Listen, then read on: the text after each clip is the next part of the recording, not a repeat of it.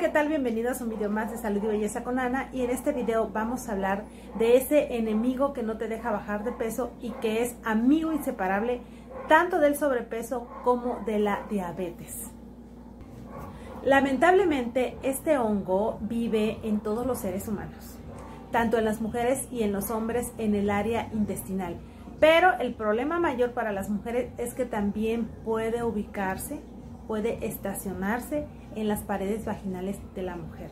Entonces, en este video vamos a hablar del problema del hongo y también de todos los malestares que provoca, que eso te puede dar a ti como que una guía de decir, tengo una sobrepoblación de hongo, ya que la mayoría de los seres humanos lo tenemos, pero si lo tenemos abajo de un 10%, bueno, no nos perjudica, pero si empieza a crecer y se hace una sobrepoblación es muy peligroso y también provoca que no puedas bajar de peso y también es, eh, es un hongo que puede perjudicar mucho en la salud y es el, el ocasionador de muchísimas enfermedades. Aunque el tema de hoy es más basado a las personas que quieren bajar de peso, han intentado bajar de peso, han hecho de todo, ejercicios, las famosas dietas y muchas cosas más, pero no han podido lograr absolutamente nada, es por este problema porque seguramente tienes hongo cándida y antes de bajar de peso, primero lo tenemos que erradicar porque si no, no vas a lograr.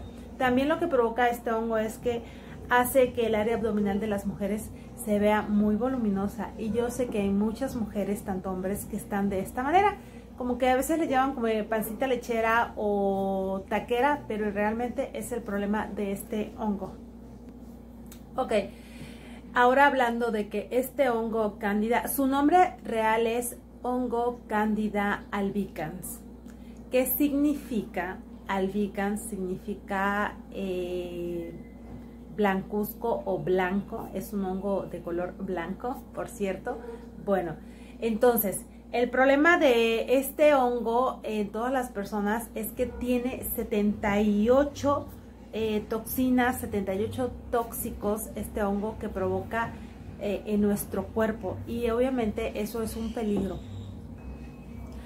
Ok, ahora te voy a dar eh, una lista de algunos síntomas eh, que provoca cuando ya empezamos a tener una sobrepoblación de este hongo cándida. Antes de decirte esto, quiero que sepas que, esto, que este hongo eh, se alimenta, es su platillo favorito y preferido para hacer una sobrepoblación, para crecer en tu área abdominal y también en tu parte vaginal, en las paredes de tu vagina. Este, es el azúcar, los azúcares refinados y los hidratos de carbono malos, o sea, todos esos productos que pues, solemos consumir o suele haber más en nuestros platillos y en nuestro día a día, tanto de los adultos como de los niños, este hongo se empieza a reproducir. Entonces, el problema es que, que cuando este hongo eh, se hay una sobrepoblación de este hongo en nuestra área intestinal. Este, lo que pasa y lo que sucede es que te empieza a, a provocar un sinfín de síntomas, de enfermedades y de problemas. Y eso quiere decir que hay una sobrepoblación y es muy peligroso. ¿Te imaginas tener un hongo en el área intestinal y que se te pase y afecte todo tu cuerpo, tanto tu cerebro, tu corazón, tus riñones, tu hígado? tu área intestinal, tu páncreas y también las paredes de tu vagina.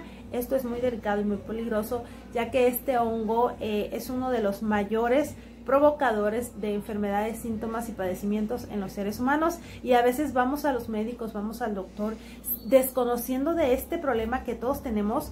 Este y pues eh, eh, eh, si, nos duele la cabeza pues tomamos pastillas para el dolor de cabeza sin saber cuál es el, la raíz de ese dolor de cabeza que puede ser el hongo candida o cuando no podemos adelgazar a pesar de que hacemos todo.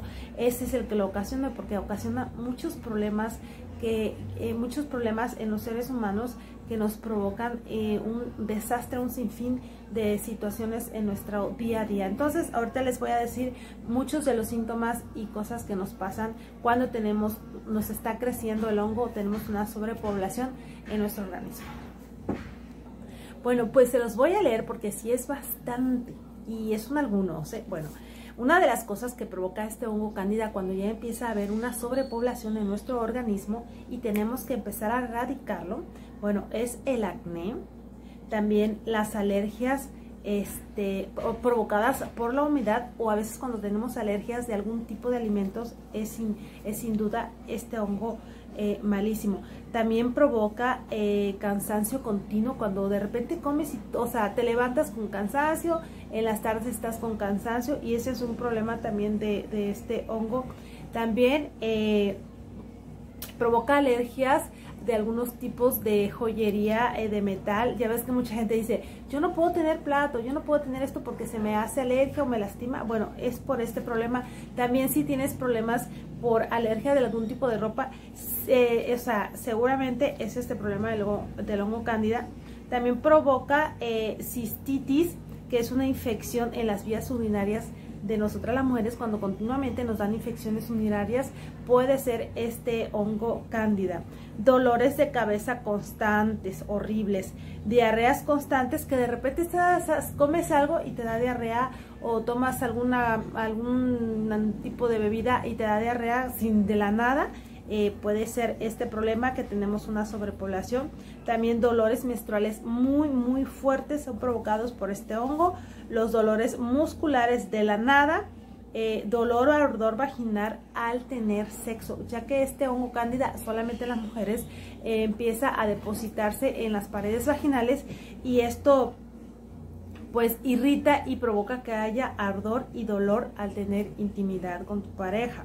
También provoca mucho estreñimiento, mucha fatiga, eh, debilidad, gases, muchos gases y inflamación. Hay mujeres, lo he escuchado y lo he notado que hay mujeres que continuamente tienen muchos gases y mucha inflamación en su área abdominal y hasta duele, duele esa inflamación por los gases. Eh, también provoca depresión provoca problemas de depresión, ansiedad y eso. Entonces ahí está el hongo cándida haciendo una sobrepoblación, irritabilidad. Cuando te enojas de todo eso, nos ha pasado a muchos, créanme. Eh, flujo y picor vaginal también, obviamente los gases en exceso, como ya les había comentado, picores en la piel, salpullido eh, y picores en la piel después de estar expuesto pues al sol, a veces eso es lo que provoca y nosotros pensamos que pues es algo que nos picó o alguna alergia o lo que sea. Eh, también sensibilidad a la luz solar de nuestros ojos. Si estamos eh, caminando ya ven que luego vamos caminando y el sol nos pega, nos llevamos lentes ni llevamos sombrero y nos pega el sol y los ojos nos empiezan a llorar o a lagrimear, como se dice, si es que lo dije bien. Entonces, eh, el ojo empieza a lagrimear, ¿por qué? Porque el hongo de candida se deposita se, aloja detrás del ojo en esa zona húmeda y oscura porque los hongos viven en las zonas húmedas y oscuras. Entonces cuando pega la luz del sol, el rayos del sol empieza a matar el hongo en esta área de nuestros ojos y nos empieza a lagrimear y a tener un poquito de, sensibilidad a la luz. Entonces ahí chequen también. Eh, un sabor raro y feito de metal en nuestra boca también, ese es un padecimiento. Y también eh, cuando eres muy muy irritable a todos los olores, yo tengo personas que conozco que de repente el perfume, el olor, bueno, el, olor a cigarro creo que cualquiera, a mí también, pero el, olor a perfume, a veces algún tipo de comida, eso eh, como que sienten mucha sensibilidad y eso también es una cuestión de que hay una, está sobrepoblando este hongo cándida la sinusitis, el problema de, la sinusitis se ha demostrado, se ha checado que muchas personas que llegan a las clínicas donde, eh, donde eh, te ayudan con tu metabolismo, que cuando les quitan este hongo, les, dan tratamiento, pues todas estas afecciones que yo les acabo de decir se les quitan absolutamente eh, el problema entonces, estas son algunas de las afecciones que provoca el, hongo cándida cuando empieza a haber una sobrepoblación. Entonces, perdón, entonces cuando sucede esto, eh, se produce una infección sistémica que es lo que ocasiona que ya tengamos problemas y nos, nos, nos provoque problemas tanto en el cerebro, en el corazón, hígado, páncreas, pulmón, este, intestinos y eh, área vaginal de la mujer. Estas son algunas de las cosas malas que provoca que tenemos una sobrepoblación. Y hablando del tema que nos, nos atañe a todos en este video es si tú tienes hongo cándida y tienes algunas molestias, pero lo más importante es que si tú tienes obesidad, lo más seguro o un poco de sobrepeso, lo más seguro es que tengas hongo cándida. O sea, eso es irremediable. Todos lo tenemos, pero cuando ya sube demasiado, que hay una sobrepoblación, es peligroso. Eh, pues ahí nació, pero no tenemos que dejar que se reproduzca más, tenemos que siempre mantenerlo abajo de los niveles que debe de estar. Entonces, si tú has hecho de todo y no has podido bajar de peso y tienes una pancita demasiado voluminosa, como muchos dicen así como de embarazado o de botecito de cerveza y dura, bueno, probablemente lo más seguro es que tengas hongo cándida. Eh, para los diabéticos que tienen diabetes tipo 2, bueno, lo más normal es que tengan, todos los diabéticos tienen hongo cándida, los de tipo 2.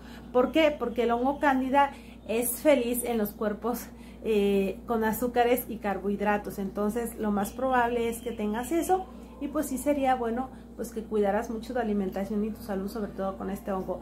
Yo les voy a hacer otro video de un, de un remedio natural que se llama aceite de coco este, para, que, para, para, para decirles cómo pueden ir eliminando el hongo cándida de esta manera natural y lo pueden eliminar totalmente, aparte de tener todos los beneficios que tiene el aceite de coco, lo pueden ir consumiendo, pero ya ese es el, ese es el tema de otro video, entonces el tema de hoy eso fue, si tú tienes sobrepeso y has hecho de todo y no puedes bajar, no puedes hacer, no, puede, no, no has bajado ni un kilo, ni una libra, ni nada, bueno, probablemente y lo más seguro es que tengas hongo cándida y hay que erradicarlo. En otro video más, en esta misma semana, eh, vamos a hablar de los beneficios del aceite de coco y de cómo el aceite de coco va a matar y a liquidar a este hongo de una manera natural y aparte vamos a recibir todos los beneficios de ello.